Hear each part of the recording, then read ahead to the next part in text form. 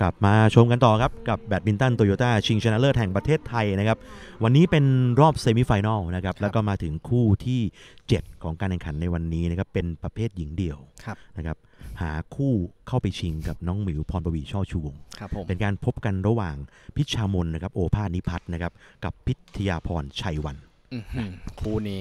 เป็นอีกคู่หนึ่งนะ ครับ ที่สนุกแน่นอนสำหรับใช่วันนี้นะครับโโหคือเป็นหญิงเดี่ยวที่น่าชม ใช่ ทั้งด้านฝีมือและทั้งรูปลักษณ์ด้วยต้องบอกแบบนั้นนะครับเอ้ยวันนี้เรามาบรรยายนี่หน้าตาดี เรามาบรรยายในเหมือนกับมาจากบริษัท modeling modeling ด้วย เราเน้นหน้าตาดีตีแบดเก่งครับนะครับผมนะ เรามาดูถึงต้องบอกว่าดีกรีของฝ่ายแรกก่อนดีกว่าครับพิทยาพรชัยวัน หรือว่าน้องจิวจากครับสโมสรบ้านทองหยอดโกดไบรท์ ต้องบอกว่าเมื่อก่อนเนี่ยเราจะเรียกว่าหนูน้อย หนูจิวนะครับหนูน้อยหรืออาจจะบอกเป็นน้องเมย์สองอะไรประมาณนี้นะครับ เพราะว่าผลงานดีมากนะครับ ในระดับเยาวชนโลก สิ่งที่เราสังเกตเห็นพิทยาพรนะครับครัสบมัยก่อนนี่อาจจะผมยาวนิดนึงนะฮะอ่าโอ้โหมีการปรับเปลี่ยนทรงผม นอกจากปรับเปลี่ยนทรงผมแล้วครับปรับเปลี่ยนสไตล์การเล่นด้วยอ่าผมต้องอย่าโอ้งโหนั้นมีโอกาสชม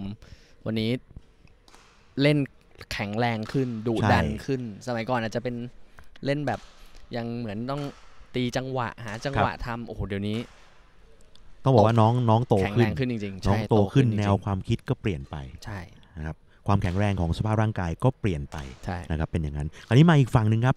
พิชชามนครับโอภาสนิพัฒน์หรือน้องพิงค์ครับอันนี้จากสโมสรแบดมินตันเกษมศักดิ์อืมนะครับ หรือว่าโคชตีครับนะครับ ต้องบอกว่าน้องคนนี้ถ้าเรียกเก่งเล็กเนอะแต่อ่าว่าตอนนี้เธอกำลังจะ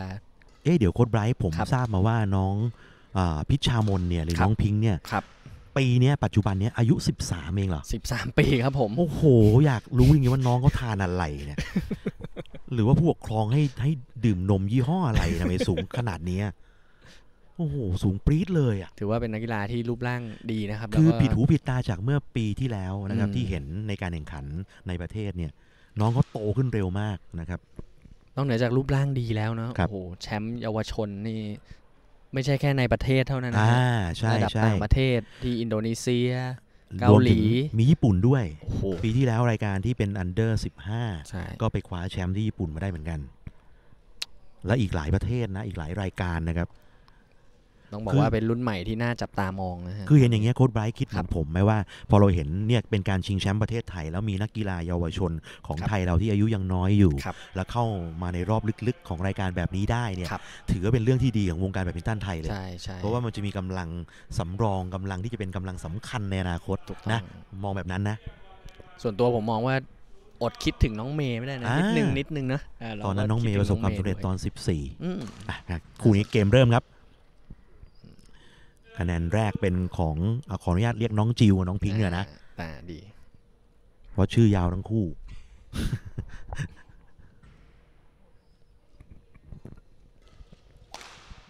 อื้อหือคะแนนที่สองก็ยังเป็นของน้องจิวอยู่ใช่ตบได้ดีครับ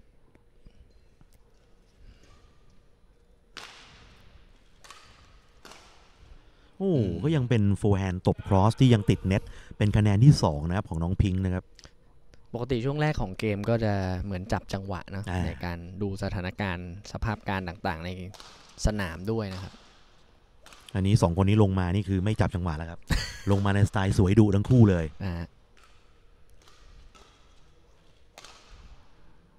ลงหรือเปล่า นี่ครับ ลูกกันไปท้ายคอร์ดแล้วไปทิ้งตัวลงบนเส้นครับ นำสี่ต่อศูนย์เลยนะครับ แต่ต้องบอกท่านผู้ชมก่อนที่ชมจากการถ่ายทอดจากทางอ่า YouTube เนี่ยนะครับครับว่าแบดมินตันเนี่ยจริง ๆ แล้วเราจะดูแค่คะแนนต้นเกมไม่ได้นะอืมไม่รูได้ปเกมยังมีอีกยาวๆครับใช่กว่าจะถึง 21 คะแนนเนี่ยอะไรก็เกิดขึ้นได้นะครับเพราะนักกีฬาเขาเองก็ต้องมีการแก้เกมกันตลอดเวลา แล้วก็เหมือนเวลาปรับเกมปรับอะไรต่าง ๆ ก็ต้องใช่ชิงไหวชิงพริบกันนะฮะเรียกบางว่คนอย่บางคนเครื่องติดช้าอืมอ่าคะแนนแรกมาแล้วนะครับ ของน้องพิงค์นะครับ ได้ยินได้ยินเราบ่นอ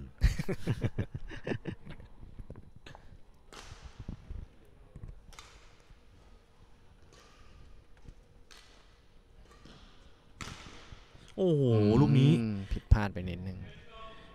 คือน้องพิงค์ไม่ได้ก้าวเนี่ยดูภาพช้าครับนี่คครัรับบไม่ได้ว่าดึงขาแล้วก้าวไปโอเวอร์เฮดนะ นี่โน้มตัวนะเนี่ย โอ้วันนี้ต้องบอกว่าต้องชมพิทยาพรหรือน้องจิวนี่ครับเอาลูกลงได้เร็วมาก คือชิงจังหวะเราไม่พลาดเลยอะครับ นี่ครับใส่ข้อมือกระตุกไปนิดเดียวลูกพุ่งลงเลย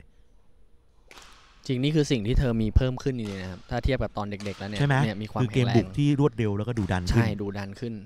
โอ้ลูกนี้น่าจะลงนะ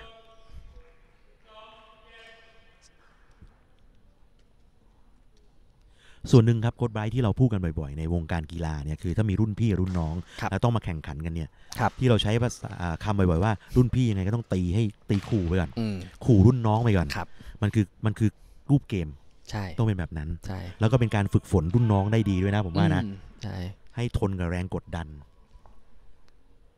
ส่วนน้องเองก็ต้องปรับตัวนะใช่ในการเพิ่มความเร็วหรือสปีดตัวเองขึ้นมานะครับ อย่างเนี้ยก็ตอนเนี้ยทำให้แปดคะแนนเนี่ยน้องจิวเนี่ยขู่น้องพิงค์เนี่ยใช่นะ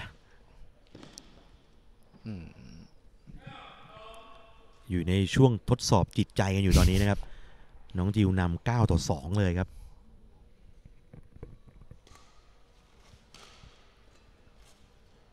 หยอดสวยครับลูกนี้ โอ้กระตุกลูกนี้ออกหลังเยอะเลย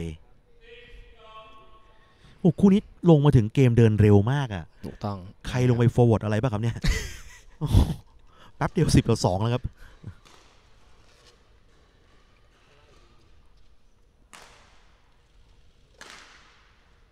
โอ้โห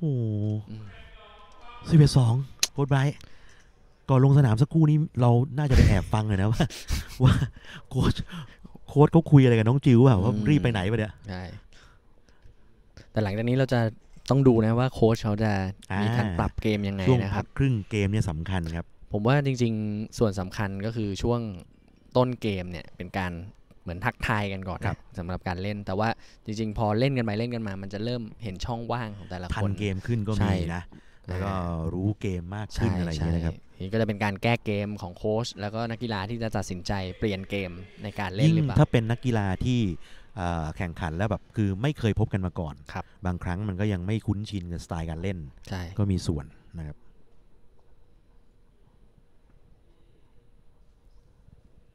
น้องพิงค์ผมเห็นเอ่อพิชามนผมเห็นเล่นหลาย ๆ รอบนะเขามีความคมนะ วันนี้ลูกคมเขายังไม่ทำงานเท่าไหร่เดี๋ยวมาดูกัน ใช่ จับจังหวะให้ได้ก่อนนะคครัรับ บ 11 ต่อ 2 ครับ อืม โอ้โห เนี่ยครับ ตบข้างตัวไปแล้วตอนก่อน 11 คะแนนมา ตอนนี้ตบใส่ตัวบ้างครับ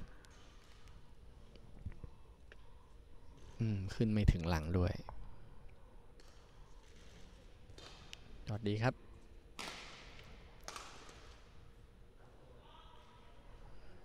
กระตุกลูกนี้ออกหลังไปครับ น้องจิว ขยับตามขึ้นมาครับน้องพิงค์ครับ 3 ต่อ 12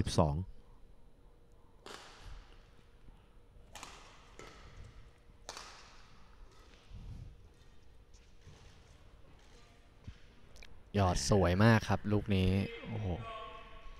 หมายหมายถึงลูกหยอดใช่ไหมยอดยอดอ๋อครับผไม่ได้หมายถึงรับคนหยอดนะครับอ๋อละเมียดเขาเรียกละเมียดนะครับ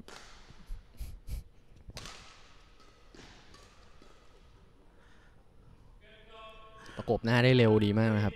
เนี่ยดูตั้งแต่ต้นเกมออกมานะครับโค้ดไบรท์ครับคือผมมองว่าน้องจิวพยายามเล่นเกมเร็วใช่พยายามใส่เกมเร็ว ให้น้องพิงค์ที่ไม่ทันตั้งตัวด้วย แล้ววันนี้เนี่ยเกมเร็วของน้องจิวเนี่ยตั้งแต่ต้นเกมมา บวกไปกับความแน่นอนด้วย คะแนนมันถึงได้นำขนาดนี้ใช่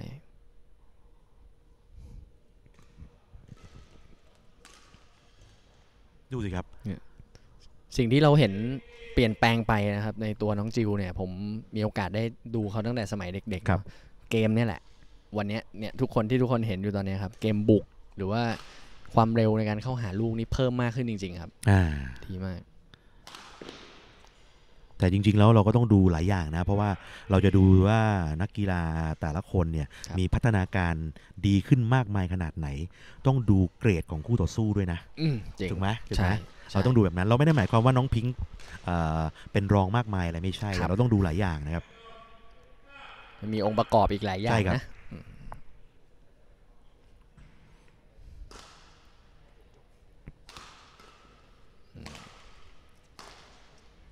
อ่อะยังนะครับยังขาดความแน่นอนเลยครับน้องพิงค์นะครับ เป็นฝ่ายที่ต้องไล่ตามเกมแจกเกมทำนะครับของน้องจิวต้องพยาแล้วยามก็กว่านี้เนาะยังโดนบีบให้ผิดพลาดอยู่ครับ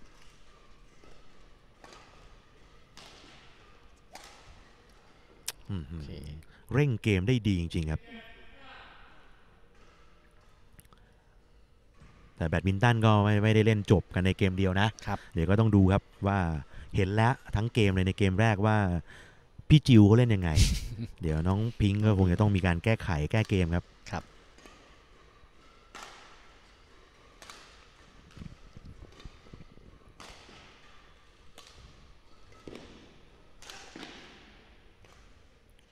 เริ่มรับเหนียวขึ้นแล้วนะครับ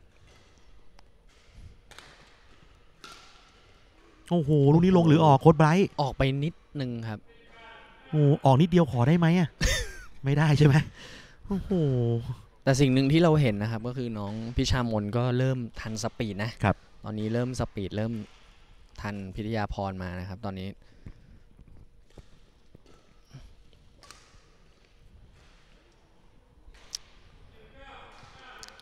ยังผิดพลาดง่ายอยู่นะครับ เกมแรกนี้ต้องบอกว่าคะแนนขาดเลยนะครับข้างห่าง19 ต่อ 5 เลยครับครับ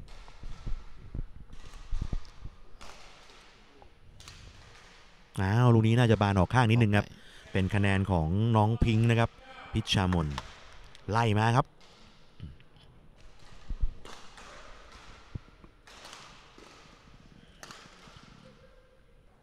ออกหลังอีกหนึ่งคะแนนครับ ค่อยๆทำคะแนนไล่ตามขึ้นมาครับ เจ็ดต่อสิบเก้าครับ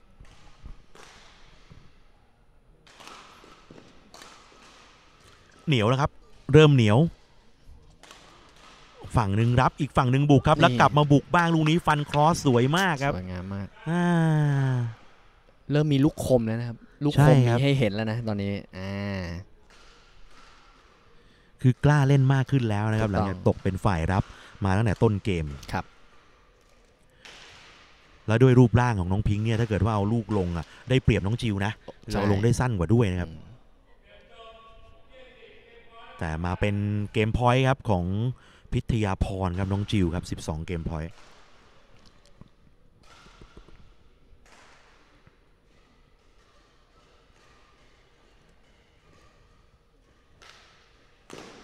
อื้อหือลอยตั้งมาหน้าเน็ตแบบนี้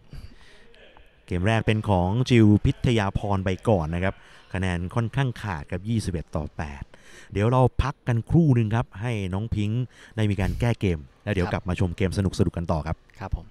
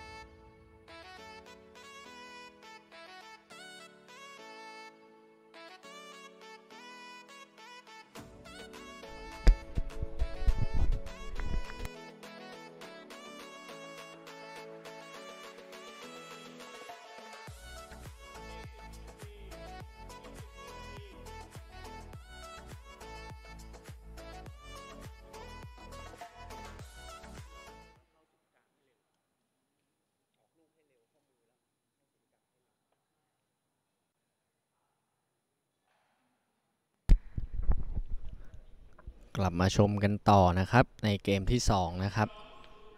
พิทยาพรเสิร์ฟพิชามนรับ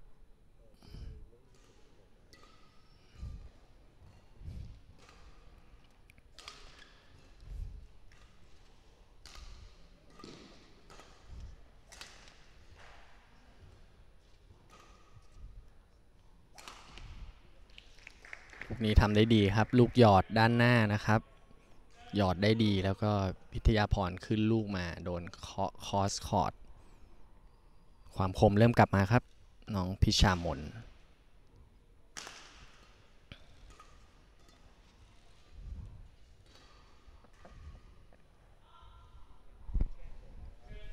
สิ่งสำคัญในการเล่นเกมในประเภทเดี่ยวนะครับ จริงๆก็คือความเร็วหรือ speed แต่ว่าจริงๆ ถ้าใครมี speed ที่เร็วกว่านะ ก็บางครั้งถ้าเจอคู่ต่อสู้ที่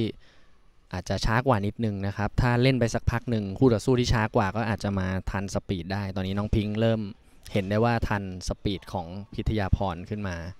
ดีมากเลยครับ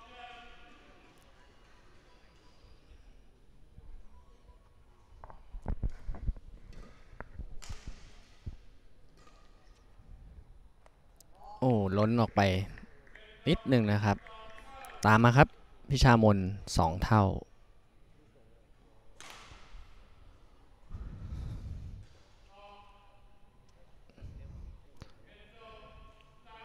เสิร์ฟผิดคอร์ดนะครับ 3 ต่อ 2 พิทยาพรนำ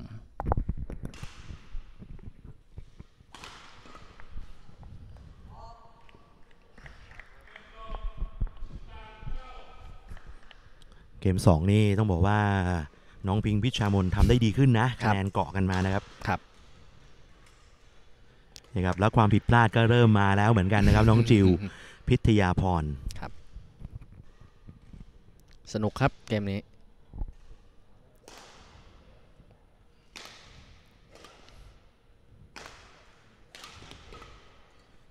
โอ้พักลูกสวย นี่ครับ คือเราถ้าเราจะบอกว่าพอมาอยู่ฝั่งตามลมแล้วกล้าที่จะบุกมากขึ้น ผมว่ามีส่วนไม่เยอะ แต่เพียงแต่ว่าผมว่าจิตใจของน้องพิงค์พิชามนเนี่ยกล้าเล่นมากขึ้นแล้วถูกต้องนะครับผมว่ากล้าเล่นมากขึ้นแล้ว แล้วก็นี่เราจะเห็นแล้วช็อตสวยๆช็อตหนักๆจะค่อย ๆ เพิ่มขึ้นมานะครับจริงๆด้วยสปีดของการเล่นของพิทยาพรที่เล่นตอนแรกอ่าอาจจะน้องอาจจะยังไม่ได้ตั้งยังไม่ได้ตั้งตัวตอนมีนี้โอกาสน้องมีส่วนตั้งตัวใช่ได้ครับแล้วนะฮะ โอ้หยอดดีครับ โอ้โห โอ้โห นี่มาตามสูตรเลยนะ ครับ หยอดปั่นแล้วถอยมาตบ หยอดปั่นแล้วถอยมาตัดนะถ้าอย่างนี้เลยอาหารหลักของแบตเดียวเลยครับ ครับ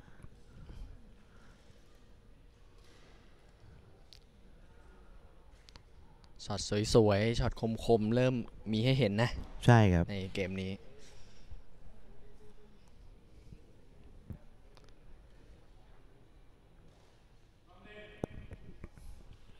เกม 2 คะแนนของน้องพิงค์นำนะครับ 7 ต่อ 3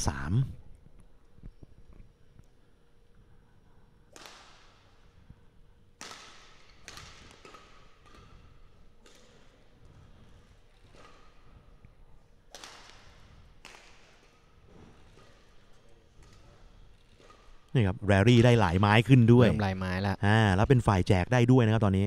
โอ้โอ้โหโหน้ำหนักขาดไปนิดเดียวครับเพราะลง จะวางหยอดจากไม้ล่างด้วยนะครับ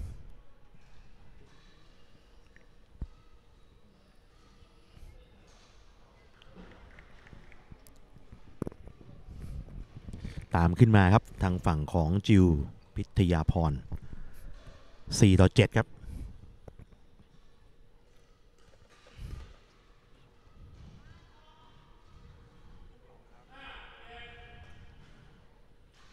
ยังไม่รู้นะ ยังไม่ทราบว่าใครจะเป็นคน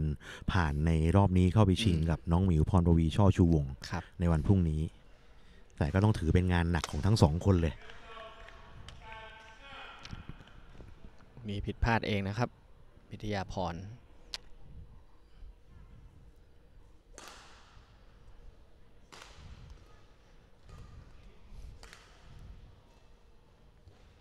โอ้โหหยอดทิ้งสวยมากครับลูกนี้ โอ้โห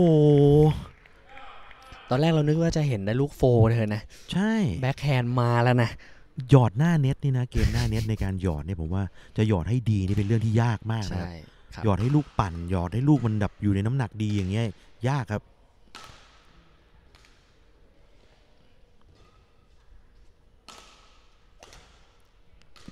พิทยาพรเริ่มสโตรกมากขึ้นนะครับ ตอนนี้ โอ้โหต้องบอกว่าคมจริง ๆ ลูกนี้นี่พักพักระหว่างเกมแรกไปนี่โค้ดตีเกษมศักดิ์เอาอะไรให้ทานครับเนี่ย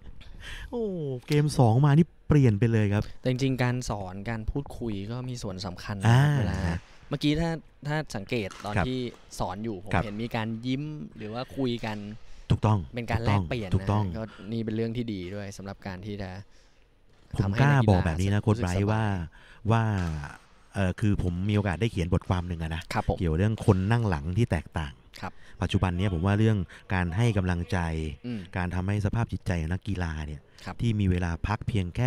หนึ่งครึ่งนาทีในระหว่างเกมหรืออะไรก็แล้วแต่ หรือ 2 นาทีระหว่างเกมเนี่ยใช่ทำยังไงให้จิตใจเขาดีขึ้นจริงมีกำลังใจมากขึ้น อันนี้สำคัญ สิ่งสำคัญอย่างหนึ่งครับในการที่เป็นโค้ชที่อครัยู่บด้านหลัง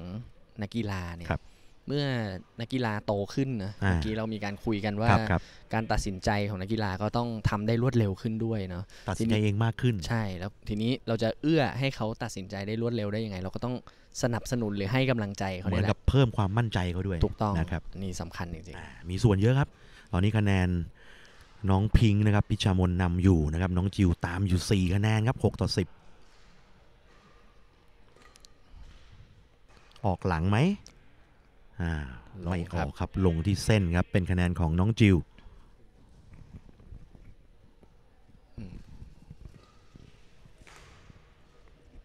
อืมหยอดทิ้งได้ดีแต่ยังมาทันครับจิวๆสวยสองลูกเลย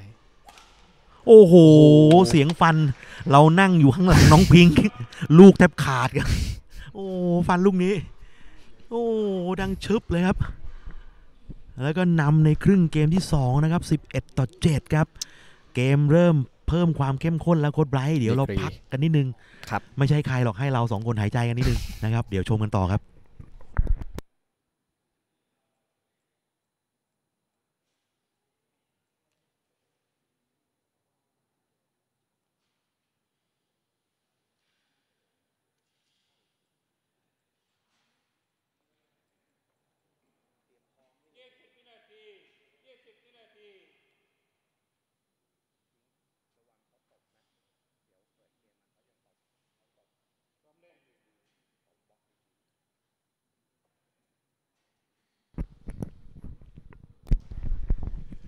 มาชมกันต่อครับ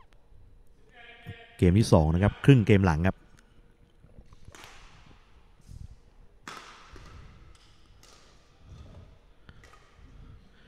ลงหรือเปล่าลูกนี้โอ้โหมาลงท้ายคอร์ดครับโค้ดไบรท์ทักทายกันด้วยสปีดลูกเลยทีเดียวอ่านนะฮะ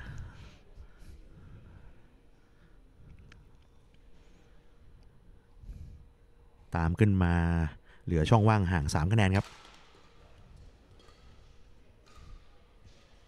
โอ้โห โอ้โห ลูกนี้ ทด จังหวะเน็ตสองทดเน็ตนิดนึงด้วยอ่าได้เน็ตโอ้โหช่วยอีกครับอื้อหือ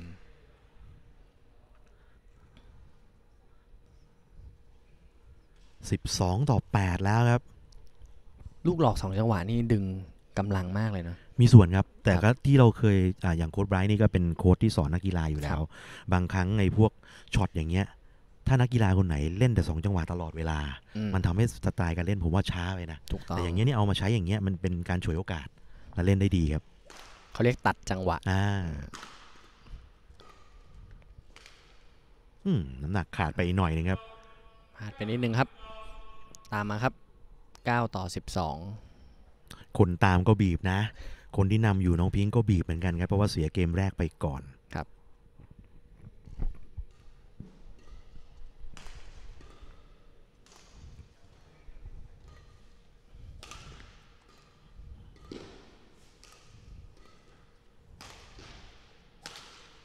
โอ้โหโดนขอบแต่ยังมาครับยังมาลูกนี้ยังทิ้งไปอีกทีนึงอ่า ดึงไปท้ายคอร์ตทางแบ็คแฮนด์สวยมาก ยังมาทันครับน้องจิวยัอยู่ครับ สนุกครับแต้มนี้ ใครจะได้ โอ้โหน้ำหนักขาดไปอีกแล้วครับ น่าเสียดายแทนอื้อหือนิดเดียว ต้องการจะเปลี่ยนน้ำหนักนะครับ แต่ว่าน้ำหนักขาดไปนิดนึง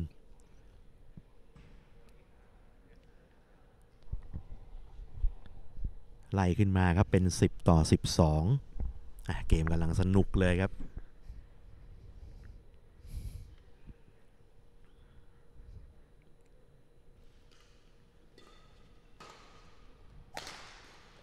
โอ้โอ้โหลูกนี้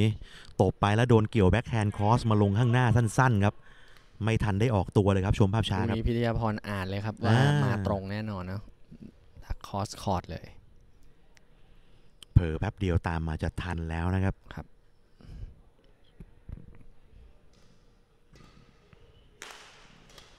โอ้ลูกนี้ ขาดครับอ่าขาด ขาดครับคะแนนเหรอครับ เอ็นครับอ๋อผม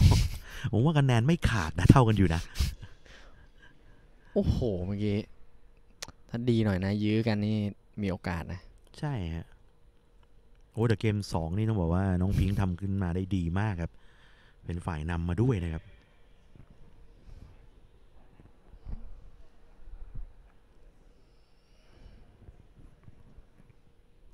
ตามมาแล้วครับ 12 เท่า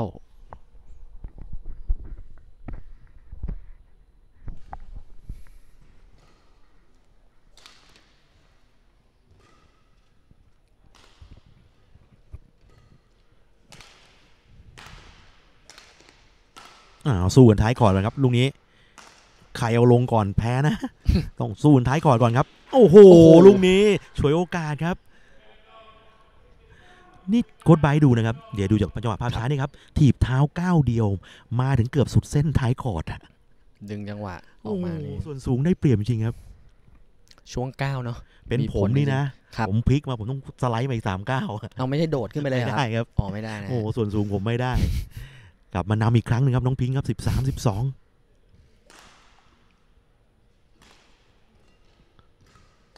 โอ้เกี่ยวติด ดักได้ดีครับ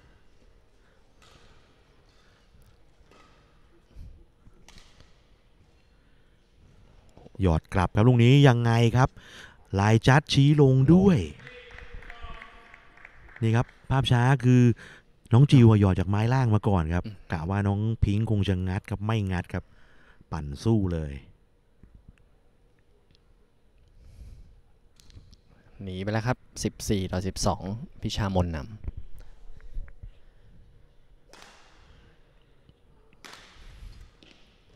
อื้อหือยังทัน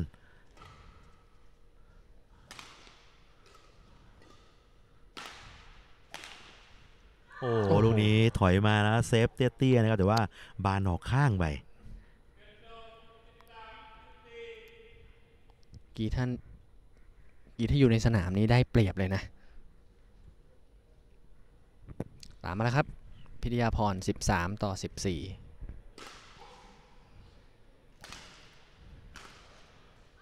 อ้าว ลูกนี้ overhead ตบไล่เส้นแต่ว่า ออกนะครับ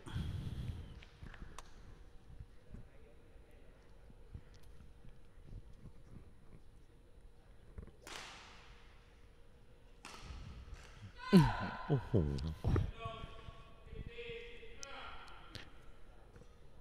ขออีกทีหนึ่งคะแนนเริ่มเบียดกันครับ ช่วงท้ายเกมของเกม 2 ช่วงสำคัญครับ 14 15 อ้าว ผิดพลาดเหมือนกันครับ น้องจิว พิทยาพร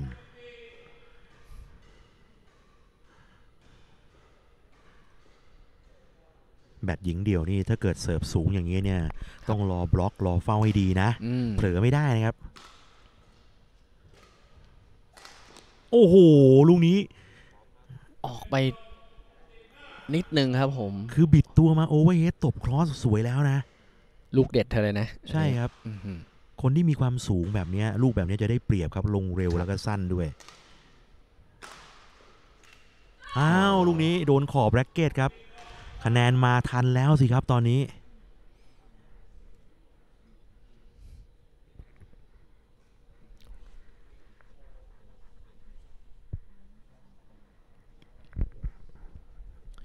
สิบหกเท่ากันครับ โค้ดไบรท์เกมสองโอ้โห อ้าว ลูกนี้ตัดเสิร์ฟติดเน็ตไปอีกครับ กลับมาขึ้นนำเลยครับ น้องจิวพิทยาพร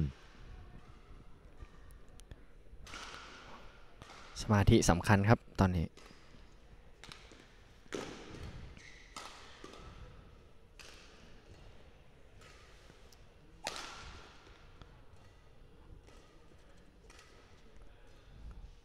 คะแนนสำคัญเหมือนกันครับ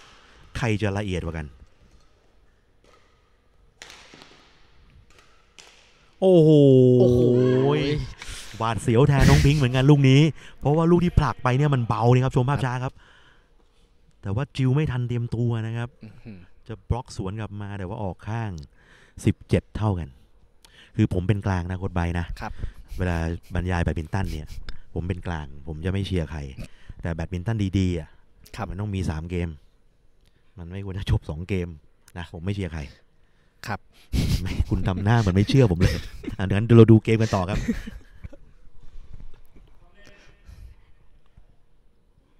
ตอนนี้คะแนน 17 เท่ากันนะครับ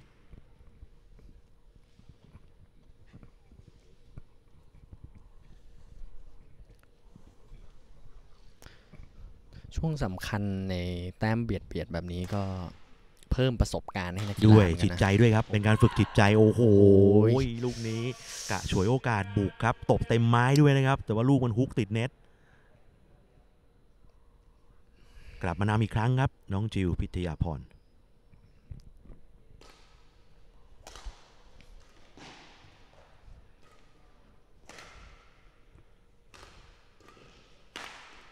โอ้ยังรับกลับไปได้ครับ ยังไงลูกนี้ โอ้โหทดเน็ตแล้วครับ แต่ว่าออกข้าง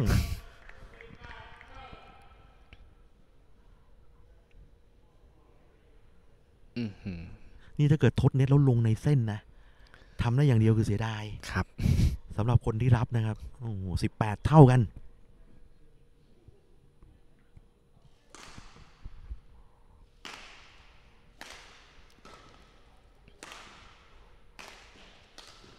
เปลี่ยนทางมาครับดียังทันมากครับ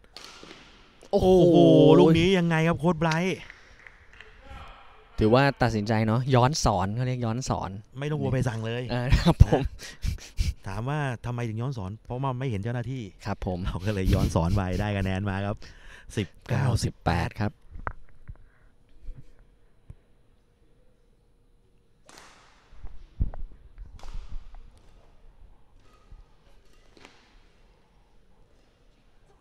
โอ้โหโอ้โห ตอนนี้ต้องบอกว่าตั้งแต่ต้นเกม 2 มาโค้ดไบรท์สิ่งที่เราเห็นน่ะก็คือเกมหน้าเน็ตของน้องพิงค์ที่ได้เปรียบคือหยอดน้ำหนักได้ดี ไม่แต่สิ่งที่เราเห็นเพิ่มขึ้นก็คือความหลากหลายนะอ่าความหลากหลายในการหลอกครัในบการดึงจังหวะต่างๆนะฮะทำได้ดีเลยทีเดียว ใช่ใช่คราวนี้สิ่งสำคัญคือคะแนนอีกหนึ่งคะแนนที่จะได้เกมนี้เนี่ยเป็นเรื่องสำคัญนะครับนะครับ เพราะว่าช่วงห่างแค่ 2 คะแนนเท่านั้น สนุกครับ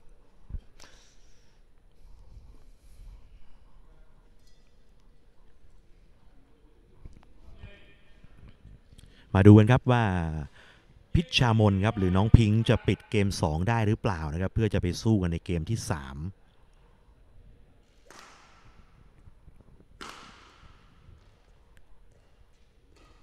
ได้เปรียบครับ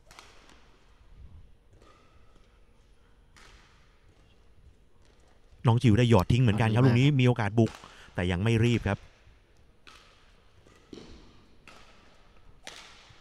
อ้ยยังทันครับลูกนี้อ้าวเข้ามาตัดสินใจครับผิดไปผมนิดนึง คือไปอะทันแล้วครับ แต่คิดว่าออกนะครับ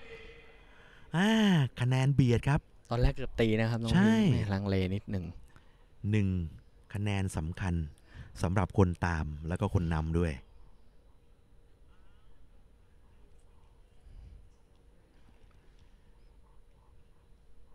พักเช็ดเหงื่อกันเล็กน้อยนะครับ ช่วงนี้ต้องรวบรวม สตินิดนึงนะสำคัญมากครับ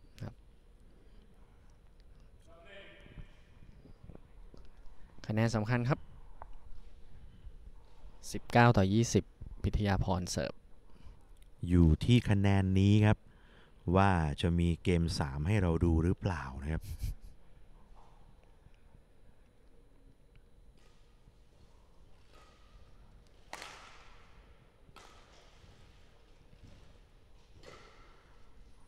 เอาลงไหมลูกนี้เอาลงครับแต่ยังรับได้ ผัดกันบุกครับโอ้โหเอาลูกนี้ตัดสินใจดีต่อครับเนื่องดีเข้าไปแล้วก็ซ้ำด่านใส่ตัวเลยนะ โอ้โหเกมสองเป็นของน้องพิงค์พิชชามนปกติหยุดนะครับ ปกติหยุดลูกเป็นหยอดนะโอ้โหนี่ลูกแบตนะไม่ใช่ส้มนะ ไม่ไม่มีไม่มีส้มหยุดครับครับนะกับเกม 2 เป็นของพิชชามนไป ก็ได้คนละหนึ่งเกมดีนะคครัรับบเดี๋ยวเราพักกันครู่หนึ่งนะครับเดี๋ยวกลับมาชมเกมที่ 3 สนุกสนุกกัน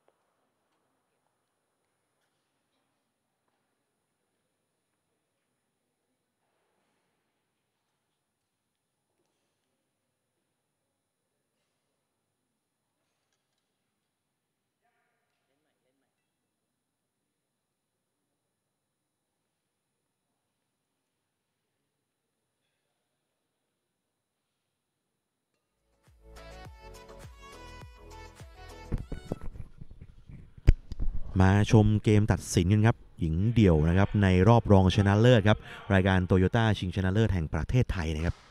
ได้ไปคนละหนึ่งเกมครับระหว่างน้องพิงค์กับน้องจิวโอ้โหเปิดมาเล่นเกมก่อนเลยนะฮะอ่า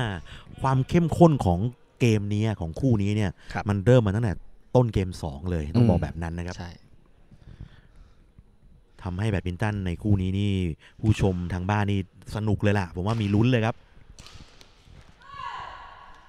ำได้ดีครับลูกนี้ คือนิดนึงนะผมว่าโค้ชไบรท์ครับคือมาอยู่ในฝั่งที่ตามลมถึงแม้ว่ามันจะเล็กน้อยอะมันก็ต้องอาศัยความได้เปรียบตรงเนี้ยนะใช่ รีบทำคะแนน เป็นทุกคนต้องต้องเอาอาศัยแบบนี้ครับ ชิงจังหวะลงไปให้เร็ว โอ้โห ดึงหลอก จังหวะสวยมากครับ พิชฌามลณ์จังหวะดึงหลอก forehandทำงานได้ดีจริงพิสูจน์ได้อย่างแล้วโค้ดไบรท์ครับ น้องพิชามนน้องพิงค์นี่เครื่องดีเซลนะอาจจะติดช้านิดนึงครับ แต่พอติดมาน่าจะวิ่งได้ยาวหน่อย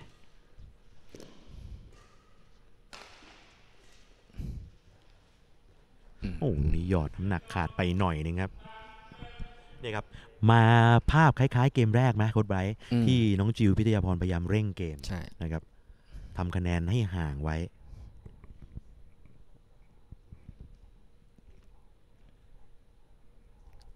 สำคัญนะครับที่จะควบคุมสไตล์การเล่นนะอ่าให้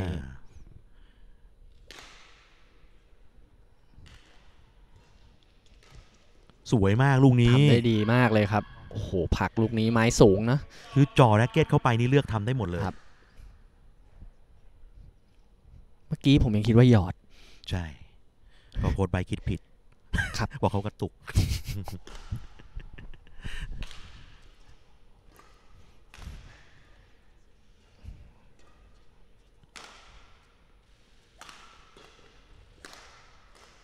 โอ้โหโอ้โห นี่คือเอี้ยวตัวแล้วก็เคาะลงครอสสกะจะเอาลงสั้น ๆ นะครับ นี่ครับชมภาพช้าครับ ไอเดียได้แล้วนะอืมอ่าออกข้างไปหน่อย แต่ต้องชมนะ ผมต้องบอกว่าชมนักน้องนักกีฬาทั้งสองฝ่ายเลย ทั้งสองคนเลย คืออายุเท่านี้เองอะแล้วก็อยู่กับรูปเกมที่กดดันนะ สามารถคุมสมาธิได้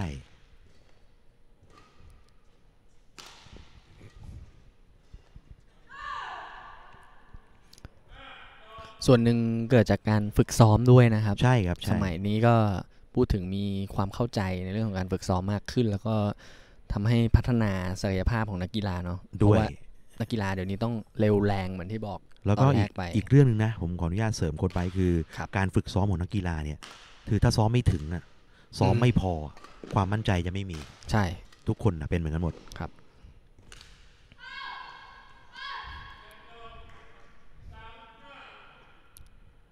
อนนี้รูปเกมจะเป็นการชิงจังหวะแดนหน้า แล้วก็คือพยายามทำให้เสียจังหวะในในช่วงท้ายคอร์ดใช่นะครับเพื่อจะปั่นหยอดข้างหน้าด้วยส่วนหนึ่งครับ แล้วก็ผัดกันทำอะว่าอย่างนั้นดีกว่านะครับคะแนนตามมาครับสามต่อห้าจีได้ดีครับ โอ้โหลูกนี้คือซอยเท้ากะตบครอสแล้วอะน้องพิงค์ก็เห็นก็ไปรอรับเหมือนกันครับครับนี่ครับชมภาพช้าแต่ว่ามันไม่ข้ามครับ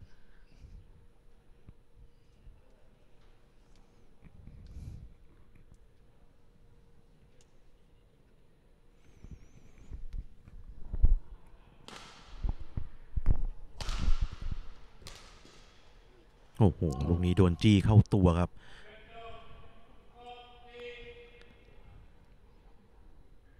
อันนี้พิทยาพรก็ยังคุมเป็นฝ่ายบุกนะใช่ต่อเนื่องได้ดีนะครับหกต่อสี่ครับ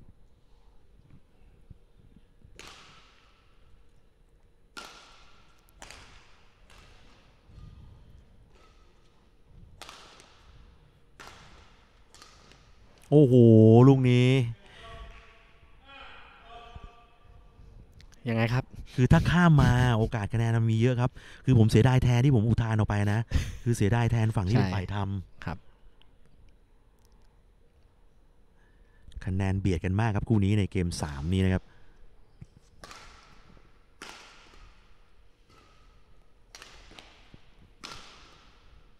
โอ้โหลุ้นครับ คนรับเกี่ยว น้องจิวก็ลุ้นว่าข้ามไหมทดเน็ตนิดนิดๆนะอ่าน้องพิงโอเคก็ลุ้นเหมือนกันว่าข้ามมาไหม นิดนิดๆนะครับ ลงไปอืมสนุกครับเจ็ดต่อห้า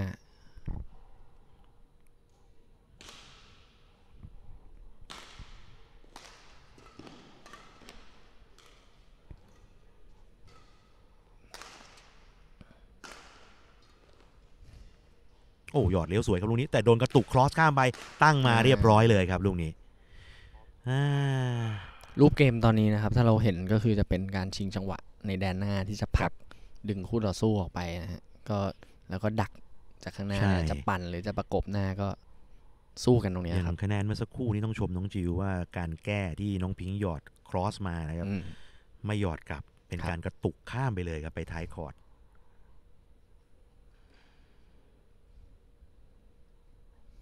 อ่าเห็น ในรอบเซมิไฟแนอลแบบนี้แล้วโค้ดไบรท์แล้วเป็นเยาวชนที่เข้ามาในรายการใหญ่ที่สุดของรายการในประเทศ โอ้โห ต้องบอกแบบนั้น เห็นแล้วดีใจแทนนะครับอมีกำลังสำคัญละไม่ใช่ว่าโอ้นักกีฬาไม่ว่าของประเทศไหน นี่คือตามความคิดผมนะครับ ถ้ามีเพียงชุดเดียว อืมไม่ไหวนะอันนี้เรามีต่อเนื่องนะอ่ามันต้องมีต่อเนื่องครับอืมทำทีมระยะยาวครับ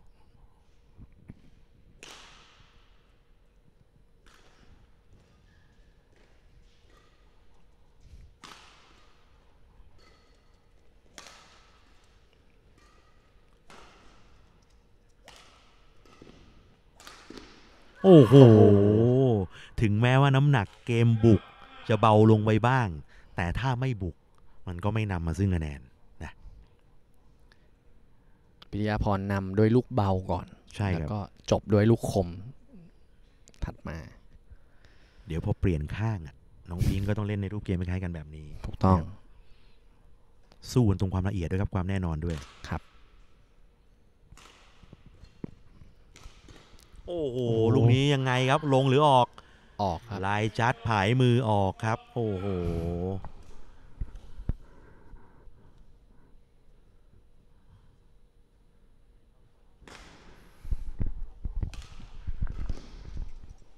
ออกข้างเหมือนกัน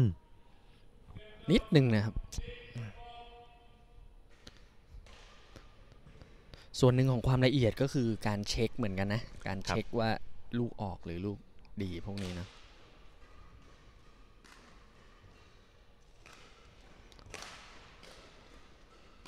เอ้าโอ้ย ลูกนี้โอ้โหตั้งใบหน้าเน็ตแล้วจะซ้ำเข้ามาปิดหน้าไม้เยอะไปหน่อยครับ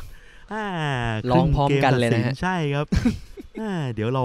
ถ้ายังไงวันนี้บรรยายจบครบคู่ที่สิบครับ เดี๋ยวเราสองคนไปพบแพทย์หน่อย ได้ครับ ตรวจตรวจฮาร์ทเรทนิดหน่อยเดี๋ยวเราพักกันครู่หนึงครับ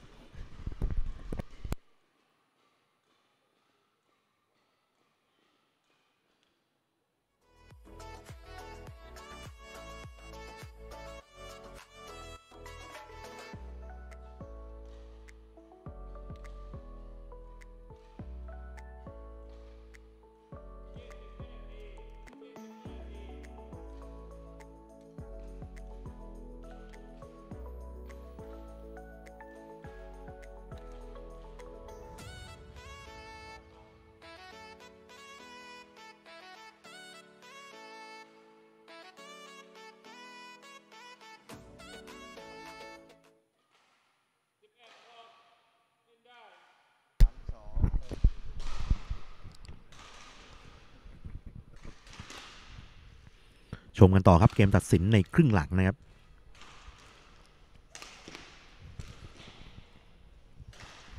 โอ้ลูกนี้ forehand กระตุกแต่ว่าติดขอบเน็ตไปครับ คะแนนของพิชฌามลณ์ครับน้องพิงค์ไล่เข้ามาห่างเหลือ 4 คะแนน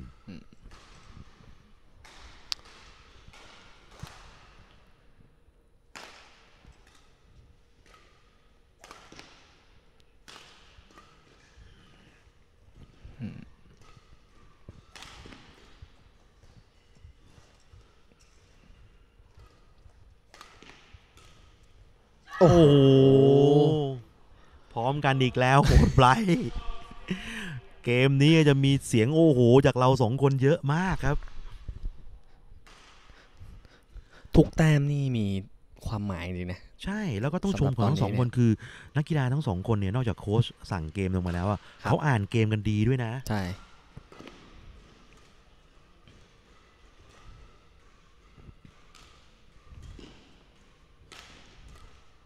โอ้โห ลูกนี้เป็นไง นี่แบ็คแฮนด์เลยกึ่งกึ่ง smash ผลักแล้วเข้าไปดักเลย คือตั้งแต่บอกตั้งแต่ตอนต้นนะครับ ก็คือว่าพอ speed เริ่มทันกันเนี่ยครับอันนี้มันเป็นจังหวะที่จะชิงไหวชิงพริบกันอ่าช่วงนี้สำคัญมากสำหรับนักกีฬาด้วย ไล่มาครับ 8 ต่ออืมที่หลังดีครับ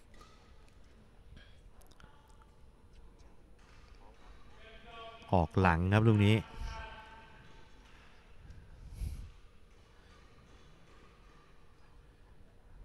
ห่าง 5 คะแนนครับ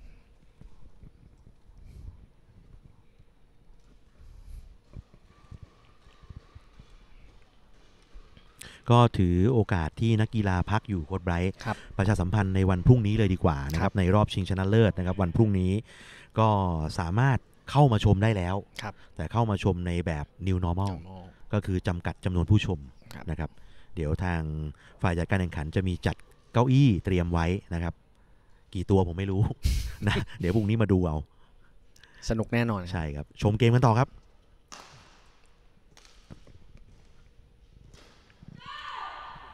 หยอดได้ดีนะครับ ลูกนี้พิทยาภรณ์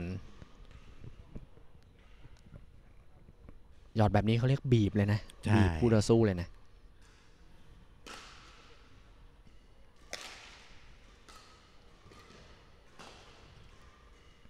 อ่า ลูกนี้ overhead ของน้องจิวพิทยาภรณ์ ออกข้างครับ ออกข้างเยอะ บางที overhead พวกเนี้ยโค้ชไบรท์เราไปครับคือเราพลิกตัวช้าหรือเราไปคร่อมลูกไม่ได้ มันก็มีโอกาสบานออกนะถูกต้องตามตัวที่เราเอนที่เราเอียงออกไปอะครับ การดึงเอ้าขายังไงลูกนี้ เห็นน้องพิงค์ชูกำปั้นเป็นคะแนนของน้องพิงค์ครับ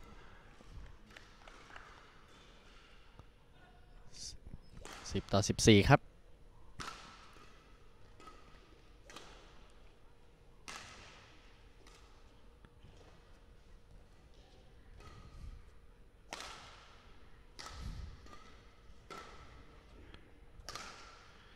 ต่างฝ่ายต่างไม่กล้าเล่นลูกเสี่ยงแล้วนะครับ อาศัยความแน่นอนครับละเอียดโอ้โหกันลูกนี้ใครดึงขาน้องจิว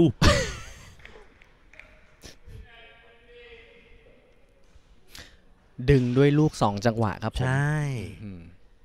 โอ้โห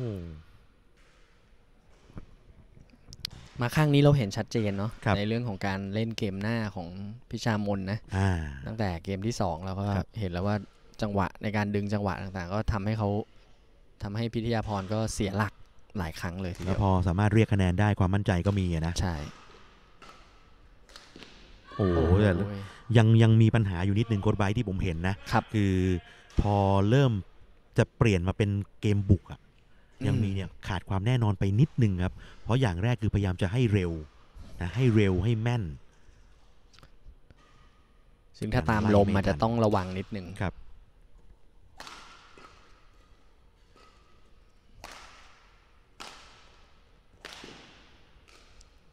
ต้องดูความเคี่ยวของจิวด้วยครับเนี่ยครับ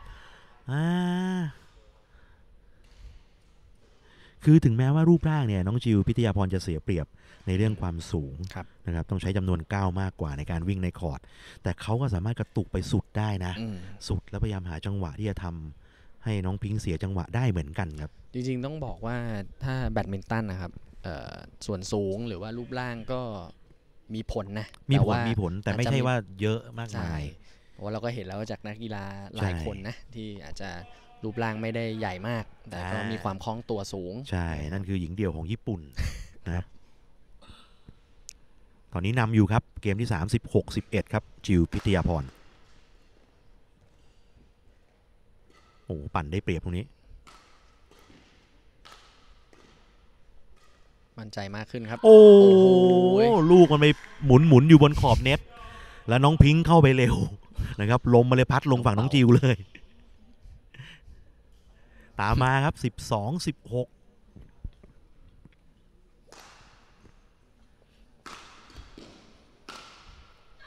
โอ้โห ลูกนี้ต้องบอกว่าตัดสินใจดี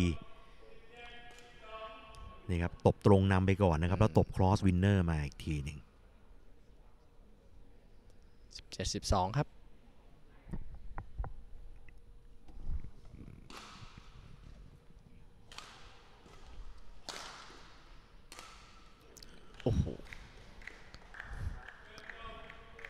ลูกนี้ไม่ได้รีบนะ ดึงจังหวะนิดนึง ใช่ครับ คือตั้ง racket backhand รอครับ เข้าไหมอ่าเลยกระตุกสวนไปเลยครับ ขยับขึ้นมาอีกหนึ่งคะแนนครับสำหรับน้องพิงค์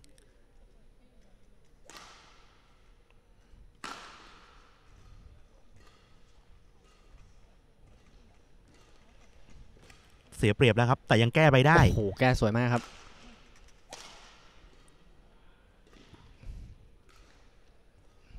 โอ้โห ขาดไปนิดนึงนะฮะ เนี่ยผมผมดูนะ ตั้งแต่ต้นเกมแรกมาเลยกดไปการยืนคุมเซนเตอร์ครับของน้องจิวเนี่ยครับถือว่าคุมได้ดีมากนะอืมนะส่วนหนึ่งเกิดจากพละกำลังด้วยครับครับที่ทำให้เขาเข้ามาตรงเซนเตอร์ได้เร็วเนาะอ่าก็ช่วยให้คุมพื้นที่ได้ดีครับ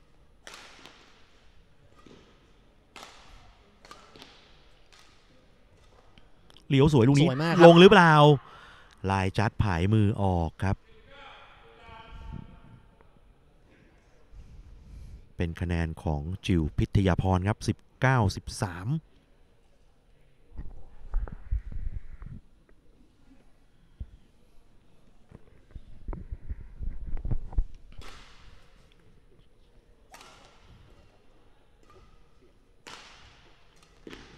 หยุดลูกลูกนี้ยังไง โอ้โห สวยมากครับอ่า overhead นะครับ แล้วก็ drop เลยครับ นี่ครับ ภาพช้าเข้ามาทันแล้วนะครับ แต่น้ำหนักมือขาดไปครับจิวภาษาแบดเขาเรียกทิ้งล่มน่าระวังลมไม่กลางนะครับ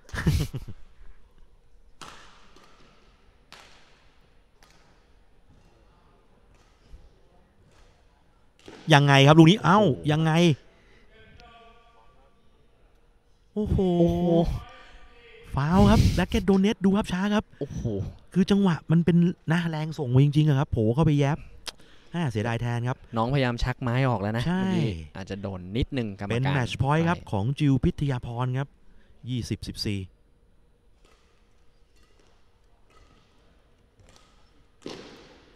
โอ้โห ยังเหนียวกลับไปได้ไม้หนึ่งแล้วก็โดนปิดครับลูกนี้ สนุกจริงๆครับเกมนี้ครับโอ้โหบบอกเลย สุดยอดมากครับสำหรับหญิงเดี่ยวนะครับ รอบรองชนะเลิศนะครับ พิทยาพรชัยวัน